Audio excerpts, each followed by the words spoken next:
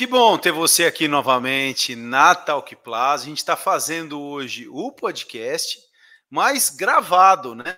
É, falando de um tema polêmico. Hoje a gente vai tratar de um tema polêmico aqui, não é, Davis? É isso aí. Vamos falar desse tema que eu vou deixar mistério agora, tá? Você que vai falar do tema. Esse tema que está na boca de muitos é, chefes, donos de indústria e ao mesmo tempo das pessoas que trabalham nela, né? Uhum. Do nosso segmento plástico. Muita gente aí discutindo sobre isso e é bem polêmico.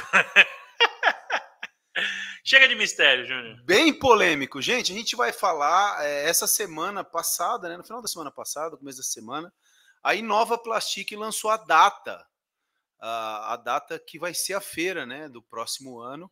E a gente vai colocar aqui na tela agora para você ver a data da Inova Plastic. O Andy vai colocar aí para a gente. Tá no ar aí, Andy? Olha lá, gente. Inova Plastic de 14 a 17 de março de 2023, que vai acontecer no Expo Center Norte. Isso aí. É, praticamente 10 dias antes da. Muda aí, Davis, para mostrar para a galera.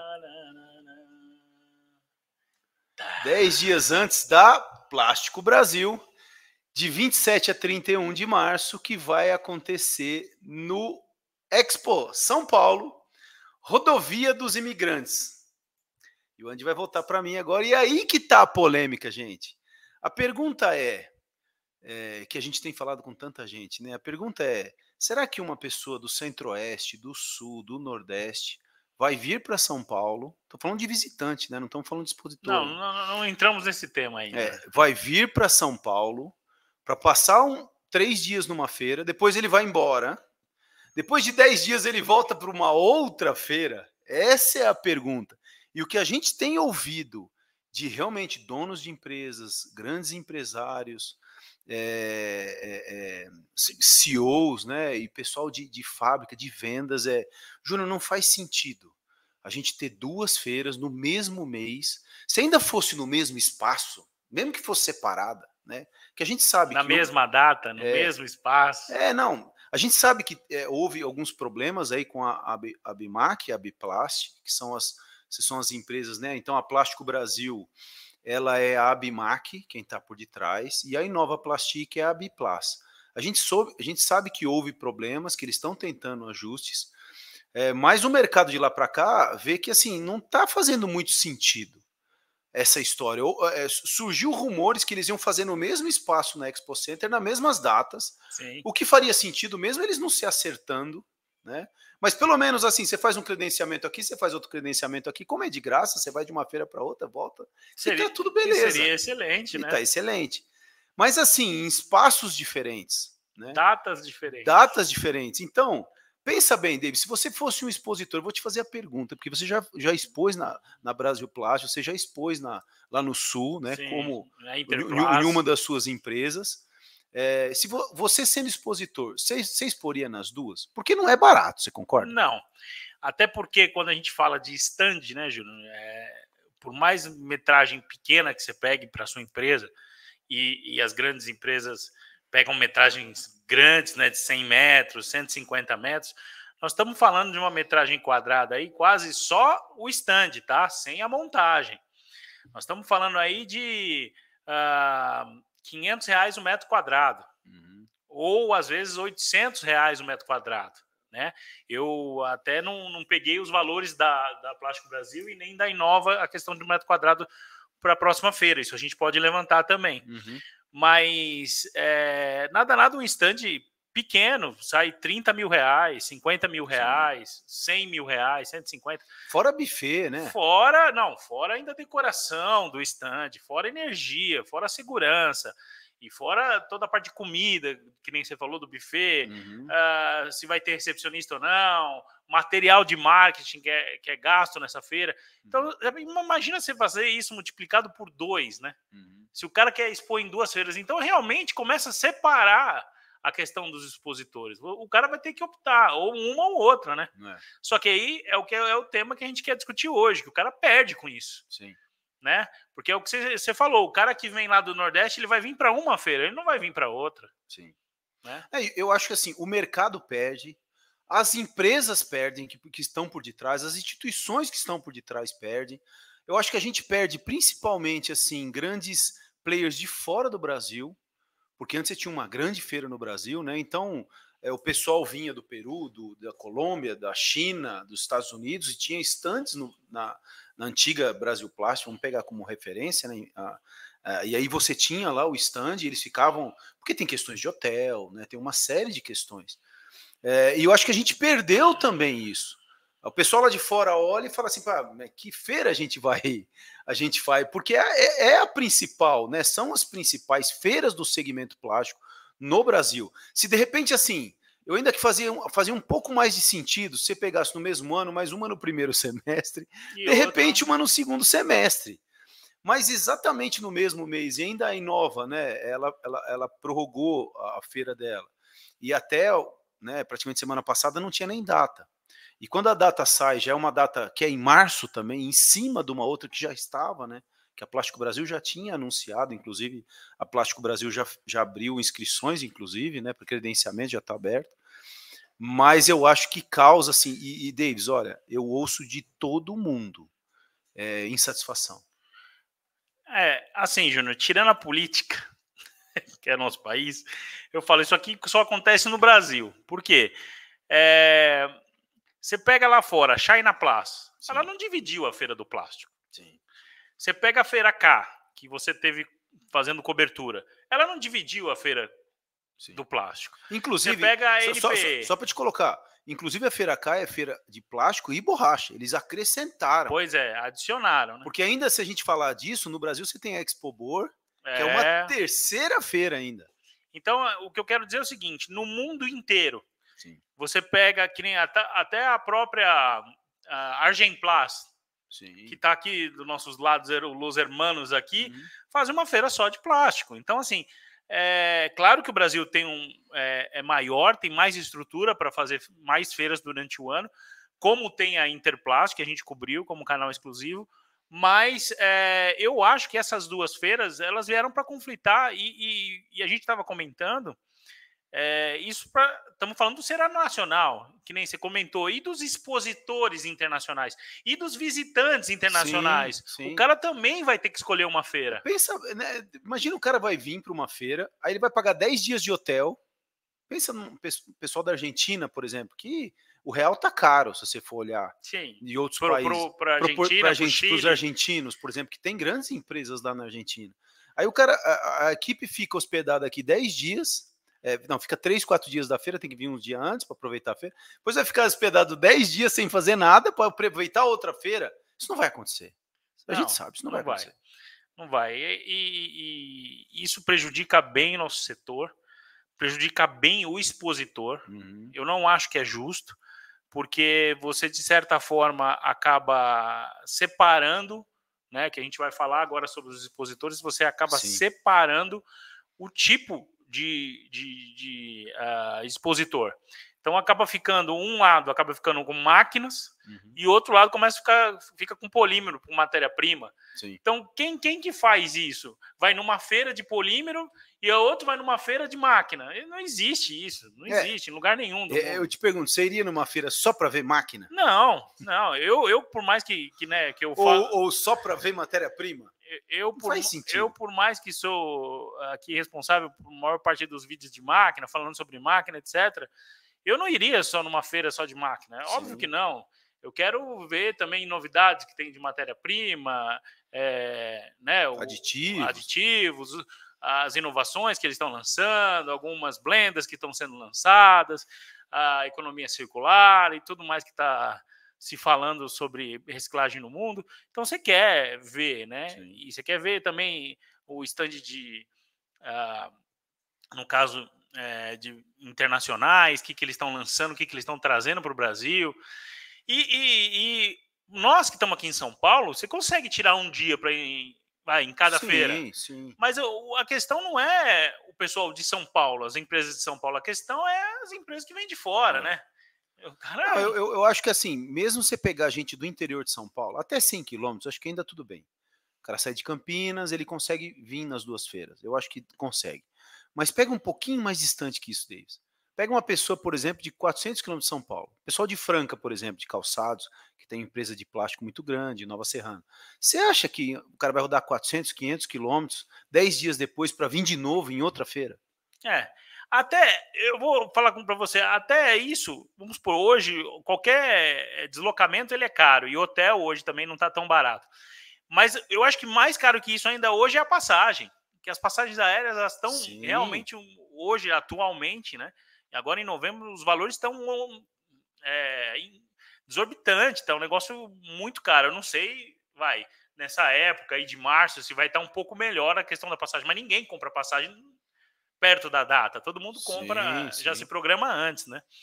Então, assim, é, eu, tô achando isso, Júnior, muito é, desgastante para todo mundo e, e, o mercado está perdendo com isso. E quando é. o mercado perde com isso, todo mundo perde. a Talk Plast também tem que vir falar e meter a boca, Sim, porque é a gente tem que se posicionar e, e ajudar também a, a todos os, os, fabricantes, de, tanto de máquina quanto de matéria-prima, uhum a botar né, um fim nisso, ou que as empresas é, se, é, se alinhem aí, as duas feiras se alinhem, pelo menos para criar uma solução no mesmo local, né? De uhum. repente, na mesma data, no mesmo local, por mais que elas continuem, mas tentar unir, né? É, e o importante, o que, que a gente quer deixar de recado? Assim, a gente não é nem contra uma feira, nem outra. Né? Pelo amor de Deus, nós vamos mostrar aqui, o Davis agora, na sequência, vai colocar aqui para vocês na tela, Todos os expositores são grandes empresas, eu acho que são duas grandes instituições, né?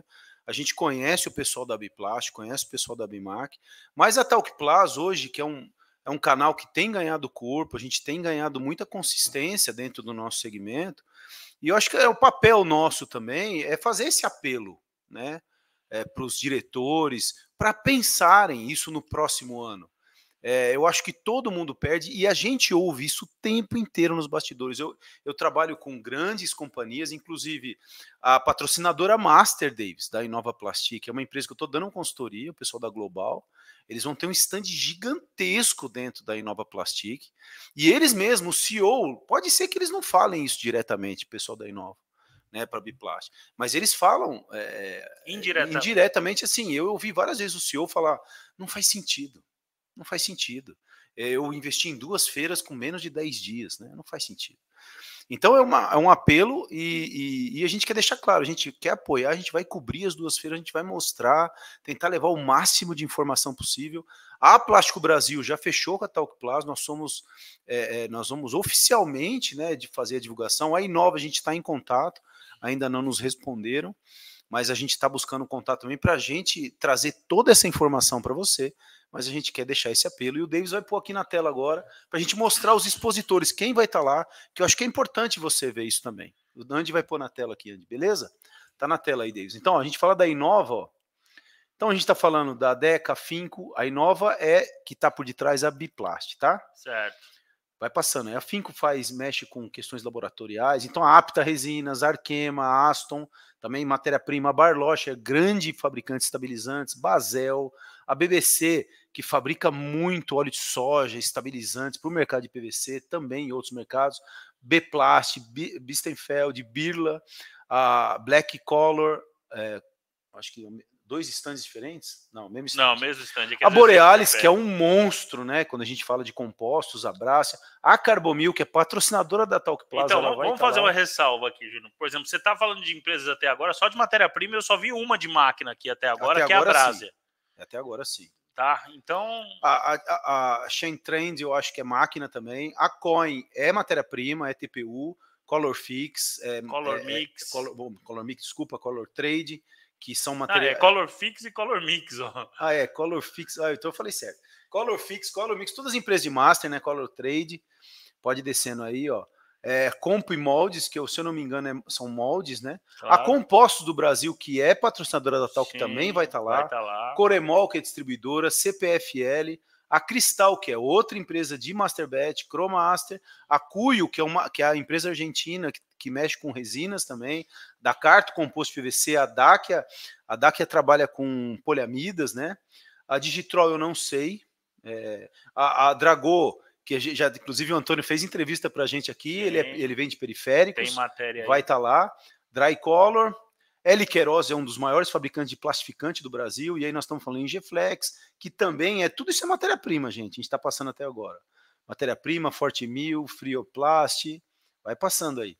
Imeres é um dos grandes fabricantes de carbonato do Brasil, Imbra também, Carina Plásticos, né? Aqui é comércio e apresentação. Essa empresa não conheço a Mais Polímero, que é um grande distribuidor. distribuidor. A Mitsui também, que é uma das grandes E a gente fez matéria da, da, da Mais Polímeros lá na Interplas. Uhum. Então, Multicell, a Nanox, que eu tive entrevistando lá na. Eles estavam com o stand lá na Alemanha, na K.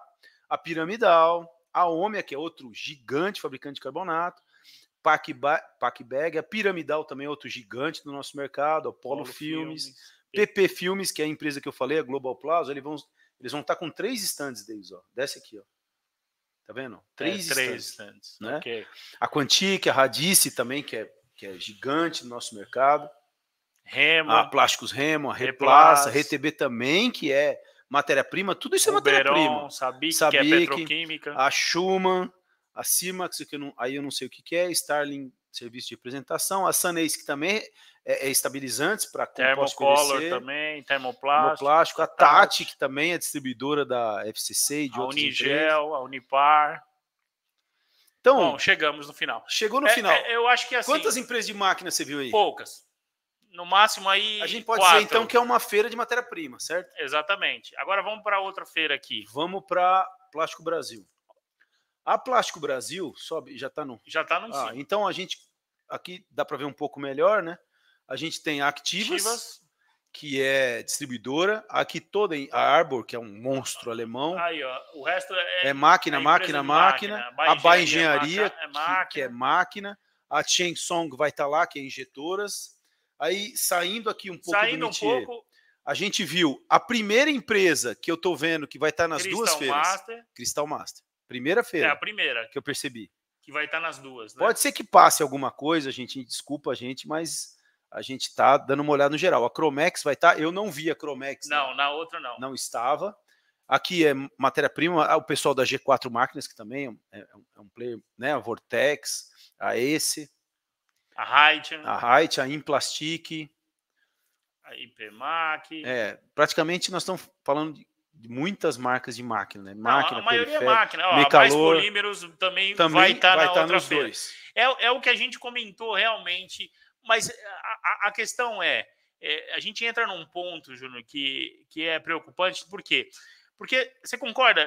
Se, se uma empresa vai investir nas duas feiras, eu não sei se ele vai investir na mesma proporção. Pode ser que faça sim, dois estandes sim, iguais, sim. certo? Se ela, que ela Mas são dois gastos, você concorda? É.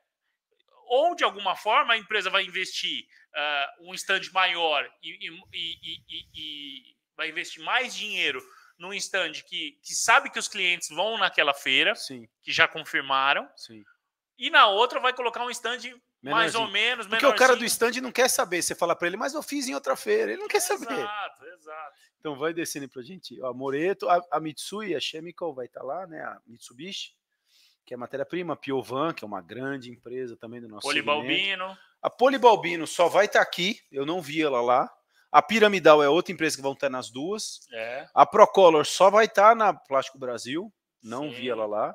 A Rony Moinhos vai estar, a Seibit. a Ruli. A Ruli. Ruli, que até a gente fez matéria com eles na Interplus. Uhum. A Tria, Moinhos. A Sumitomo.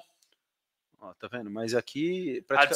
A, a, Val vai estar só aqui, ó. Eu não vi a Val lá na outra. E aí acabou. Entendeu? Então, realmente. É, é, é o, é o tema que a gente está discutindo, é o tema que a gente está abordando, porque, de certa forma, claro, isso aqui é uma. A gente sabe que é uma briga de, de, de duas empresas aí de, de, de, feiras que eles não estão é, uhum. pensando no, no, no, expositor, né? Porque se estivesse pensando, pelo menos teria a ideia, pelo menos, de colocar na mesma data e no mesmo local, né? Para uhum. não ter essa divisão que eu, que eu acho, de certa forma, prejudicial. Sim, é isso aí. Gente, é esse recado que a gente queria deixar. Eu acho que a gente quer levar um pouco da voz que a gente tem ouvido no dia a dia aí, né, para vocês. A gente faz um apelo que nos próximos anos isso seja repensado. E a Talk Plus vai estar, de qualquer maneira, cobrindo, né? Deixar claro novamente que a gente não é nem contra um nem contra o outro, a gente acha que são grandes empresas, grandes instituições, a gente vai, espera realmente, a gente torce e a gente vai divulgar aqui é, as duas feiras, a gente quer que seja realmente dois eventos sensacionais, mas a gente está passando um pouco mais para vocês. Eu sei que as organizações das feiras já estão ouvindo isso, mas a gente quer passar mais um pouco para vocês, assim, do que a gente tem ouvido e ouvido bastante no nosso segmento, tá bom?